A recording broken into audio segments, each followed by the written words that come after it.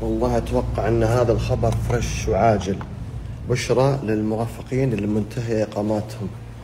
تم تفعيل قرار نقل كفالة المرافق عبر منصات وزارة العمل مع آه، احتساب المقابل المالي من تاريخ النقل. هذا اليوم أنا جبت الخبر.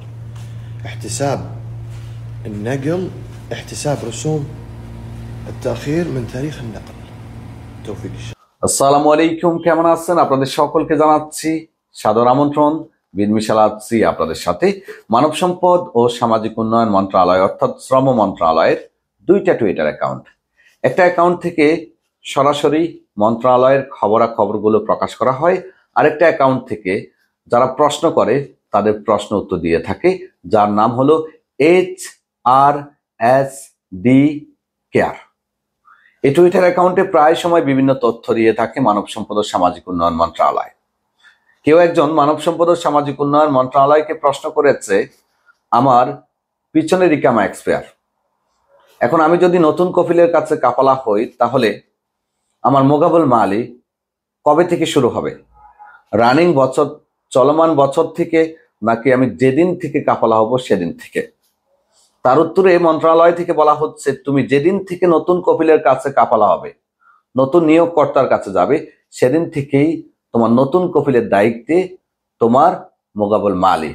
তোমার পিছনের যে মোগাবল মালি বা মুক্তবল আমেলের ফি, সেগুলো তোমার পিছনের কপিলের কাছে যাবে। অর্থাৎ আপনি যেদিন থেকে কাফালা হচ্ছেন, সেদিন থেকে সামনের দিনগুলোর জন্য আপনার নতুন কপিল আপনার মুক্তবালা আমেল পেমেন্ট করবে।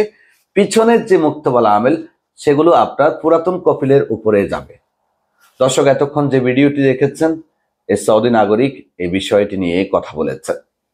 মানব সম্পদ ও সামাজিক উন্নয়ন মন্ত্রণালয় দু হাজার বাইশ সালের পনেরো মেতে ঘোষণা দিয়েছিলেন যাদের পিছনের ইকামা এক্সপায়ার এক বছর, দুই বছর, তিন বছর, চার বছর, তারা নতুন কফিল বা কোম্পানির কাছে কাফালা হলেই তাদের পিছনের যে মগাবল মালি বা মুক্তবালা আমেল বলে থাকি বা মুক্তবালা আমেলের রসুম বলে থাকি, সেগুলো পিছনের কপিলের কাছে যাবে, যার কারণে এক্সপায়ার হয়েছে, যার কারণে জরিমানাগুলো এসেছে, তার উপরে যাবে।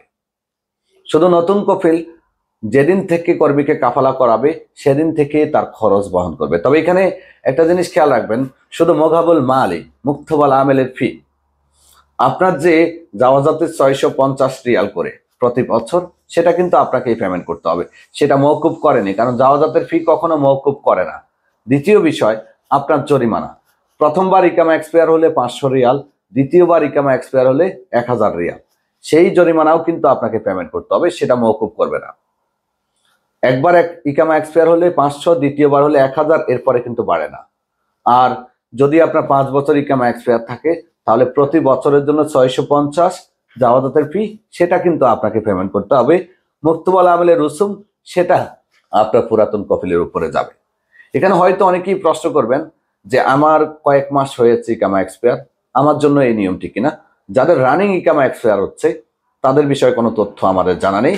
যাদের বেশ কয়েক বছর হয়ে গেছে, তাদেরটা নিশ্চিত, যেদিন সে কাফলা হবে, সেদিন থেকেই তার মোকাবল মালি নামবে। আগেরগুলো আগের কপিলের কাছে যাবে। তারপরে আরেকটা বিষয়, অনেকে হয়তো প্রশ্ন করবেন যে, আমি কাফলা হলে দেখলাম যে আমার সমস্ত টাকা চলে আসছে। যাদের মহাশাসা বন্ধ হয়ে গেছে, তাদের ক্ষেত্রে নব্বই ভাগ লোকেরই কিন্তু পিছনের মোকাবল মালি চলে আসে।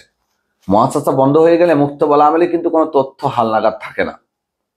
মহাশাসা বন্ধ করে দেয় অথবা কপিল সম্পূর্ণ মুছে ফেলে মহাশাসা যদি আপনাদের সম্পূর্ণ মহাশাসা মুছে ফেলে, সেক্ষেত্রে আপনার কোনো গ্যারান্টি নাই যে আপনার পিছনের মুক্ত বলা আমেল আপনার পিছনের কপিলের কাছে যাবে, কারণ সে তো মহাশাসায় ডিলেট করে দিয়েছে। এক্ষেত্রে আপনাকে ফুললি গ্যারান্টি দেওয়া সম্ভব না ফিফটি ফিফটি চান্স আছে। হয় আপনার পিছনের টাকা চলেও আসতে পারে, নাও আসতে পারে। মহাশাসা বন্ধ হয়ে গেলে সে বিষয়ে কোনো গ্যারান্টি দেওয়া যায় না। প্রথমে মন্ত্রণালয় থেকে এক ধাপ চালু করেছিল, পরবর্তী ধাপ দুই মাস পরে চালু করেছিল। প্রথমে মহাশাসা লোকদের জন্য চালু করেছিল, পরবর্তীতে যারা কোম্পানির লোক তাদের জন্য চালু করেছে। এখন কোম্পানির লোকেরাও কাপালা হলে কিন্তু পিছনের মোকাবল মালি আসে না। শয়ের মধ্যে আমরা নব্বই ভাগের গ্যারান্টি দিচ্ছি।